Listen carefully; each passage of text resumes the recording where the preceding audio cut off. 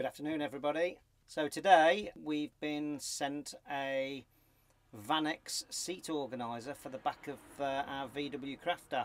I fitted it this afternoon. Very, very, very simple to actually fit.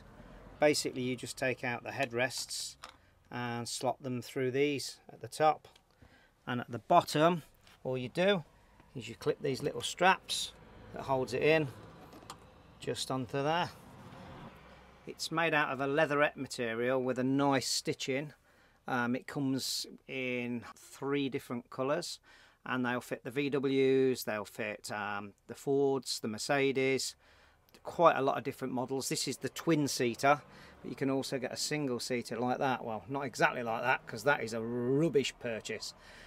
This is uh, going to be replaced with the single version of that.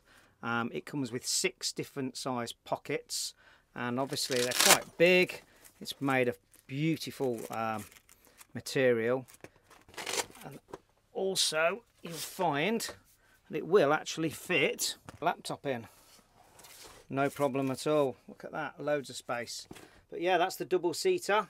Um, short review really. There's not a great deal I can say apart from the quality is absolutely amazing. Um, most of these things are just just flimsy. These are actually made for the job. So there we go.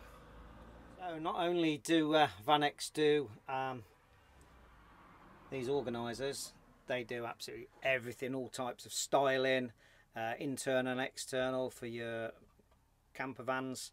Uh, they do specialise in these. These are Van-X curtains I'll probably speak about them another day um, but I've got them everywhere in the van.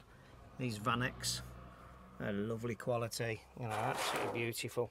So yeah uh, enough said about that and uh, we'll catch you on the next one guys. So if you like uh, what you see uh, please give us a thumbs up and subscribe to our channel and maybe just hit that notification bell if uh, you want to hear more from what we are uh, about to give you. And catch you on the next one. See you later. Bye bye